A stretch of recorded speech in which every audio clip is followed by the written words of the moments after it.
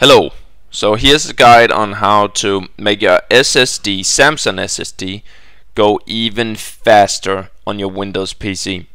So what you're gonna need first is the Samsung Magician software. You can find that in the description, a link in the description, or you could just directly search for it on Google or whatever you want. Then you want to scroll down to Samsung Magician software for PC and download the newest version. It's pretty important that you have version 4.8 especially if you're on Windows 10. So 4.8 or higher.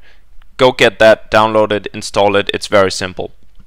Now when you get in here you could take a performance benchmark but mine is already very high so I wouldn't waste time on that. That takes around a minute.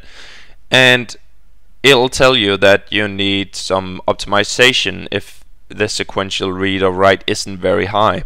So what you want to do is go to OS optimization first and put this on maximum performance or if you actually want maximum capacity you could do that. But if you want maximum performance press that up here and then apply. It's very simple and it's very easy. It'll only take a couple of minutes.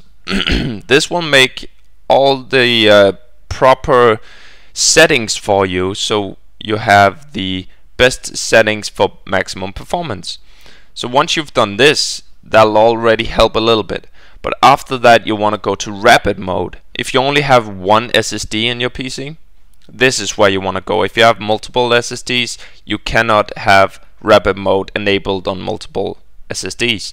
So in here, you just want to go and enable rapid mode. It's very, very, very simple. If you don't have this, um, if this is not a possibility for you, please update to the latest version. As I said earlier 4.8 or higher. Once you have this enabled as well the sequential write and read will go up very very high.